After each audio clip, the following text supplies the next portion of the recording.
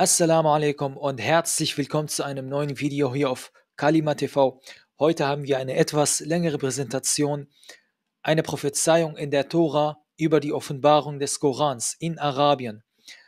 Wir haben heute eine Passage, die bestimmt jeder kennt, natürlich mit der jüdischen Auslegung im Talmud und in den Midrashim. Und äh, die ist aus meiner Sicht eine der klarsten Prophezeiungen über den Prophet Muhammad.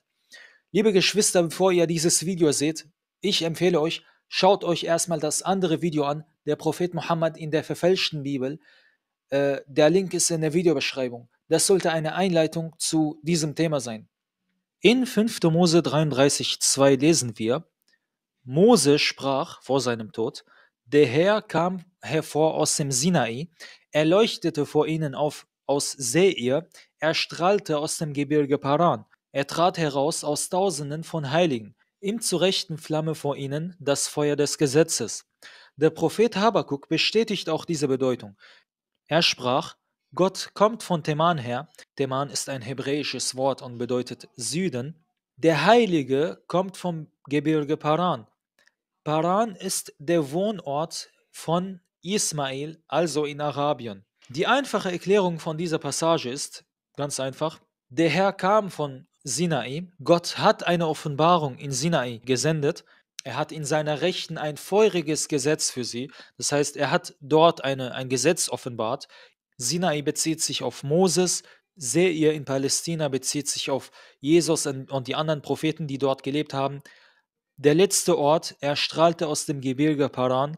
Paran ist wie gesagt in Arabien der Wohnort von Ismail und das bezieht sich nur auf den Prophet Muhammad. Der Frieden des Herrn Jesus sei mit allen, jede Behauptung, dass Mohammed angeblich in den fünf Büchern Mose prophezeit wird, kann ganz schnell und leicht widerlegt werden, denn wenn ihr Mose glauben würdet, so würdet ihr auch mir glauben, denn von mir hat er geschrieben.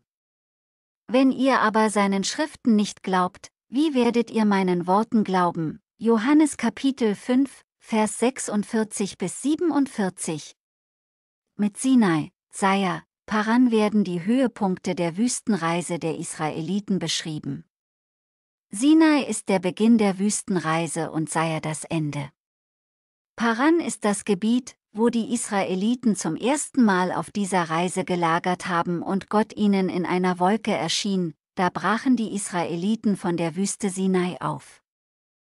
Wie es die Ordnung für den Aufbruch vorsah, und die Wolke ließ sich in der Wüste Paran nieder.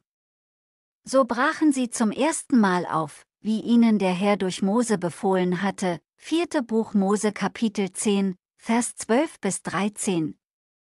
Jesus hat auch keine Botschaft in Seir bekommen.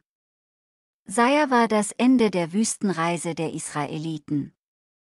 Und ist ihnen aufgegangen von Seir, dann wendeten wir uns der Wüste zu, brachen auf und nahmen den Weg zum Schilfmeer, wie es der Herr mir befohlen hatte. Wir zogen lange Zeit das Gebirge Seir. Dann sagte der Herr zu mir, ihr seid jetzt lange genug um dieses Gebirge herumgezogen. Wendet euch jetzt nach Norden, 5. Buch Mose Kapitel 2, Vers 1 bis 3.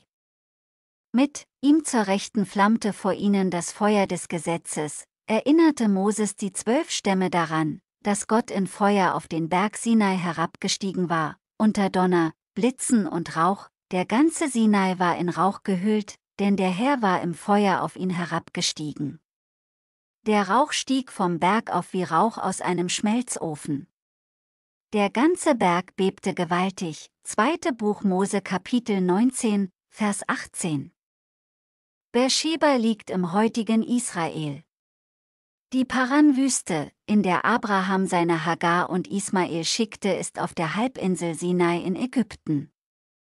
Alternativ wird die Paran-Wüste in Südjordanien erwähnt, da stand Abraham des Morgens früh auf und nahm Brot und einen Schlauch mit Wasser und legte es Hagar auf ihre Schulter und den Knaben mit und ließ sie von sich. Da zog sie hin und ging in der Wüste irre bei Bierseba, 1. Buch Mose Kapitel 21, Vers 14,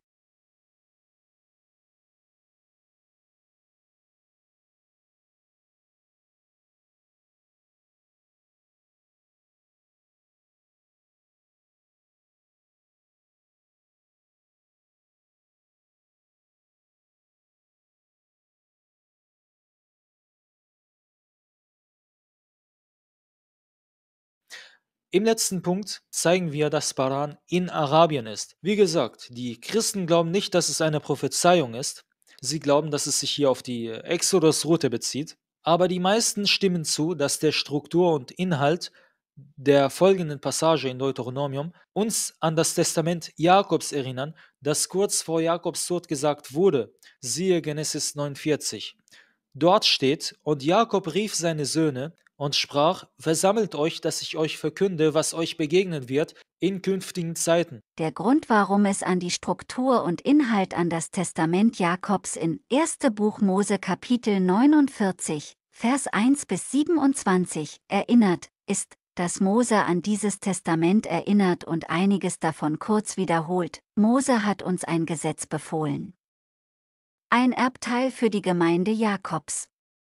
Und er wurde König über Jeschurun, als sich die Häupter des Volkes versammelten, als die Stämme Israels sich vereinigten. 5. Buch Mose Kapitel 33, Vers 4 bis 5. Christen glauben nicht nur, dass es sich um die Exodusroute handelt, sondern die Bibel bestätigt es. Vergleiche 4. Buch Mose Kapitel 10, Vers 12 bis 13, 5. Buch Mose Kapitel 2, Vers 1 bis 3 in 5. Mose Kapitel 33, Vers 2 wird zusammengefasst beschrieben, wo Gott den Israeliten erschienen ist, als diese von Ägypten nach Kanaan durch die Wüste wanderten. Er strahlte aus dem Gebirge Paran, im Gebirge Paran erstrahlte Gott segnend über die Israeliten. Paran ist die Wildnis zwischen Ägypten und Midian, der Landschaft südlich von Kanaan und circa 1000 Kilometer entfernt vom heutigen Mekka. Jesus hat auch keine Offenbarung in Seir bekommen, wie es die Kinder Esaus mit mir gemacht haben, die in Seir wohnen, und die Moabiter, die in Ar wohnen, bis ich über den Jordan in das Land komme, das der Herr, unser Gott, uns geben will. 5. Buch Mose Kapitel 2, Vers 29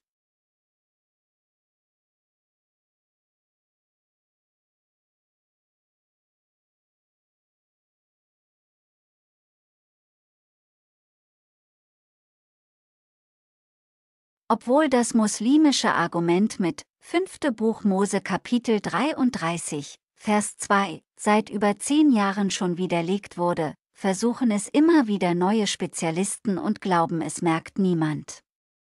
Alle Reden Gottes sind geläutert, er ist ein Schild denen, die ihm vertrauen. Tue nichts zu seinen Worten hinzu, damit er dich nicht bestraft und du als Lügner dastehst. Sprüche Kapitel 30, Vers 5 bis 6. Ironischerweise suchen unsere lieben Muslime ihren Mohammed vergeblich in der Bibel. Doch was sie wirklich finden werden, ist Jesus, ihr erforscht die Schriften, weil ihr meint, in ihnen das ewige Leben zu haben, und sie sind es, die von mir Zeugnis geben. Und doch wollt ihr nicht zu mir kommen, um das Leben zu empfangen, Johannes Kapitel 5, Vers 39 bis 40.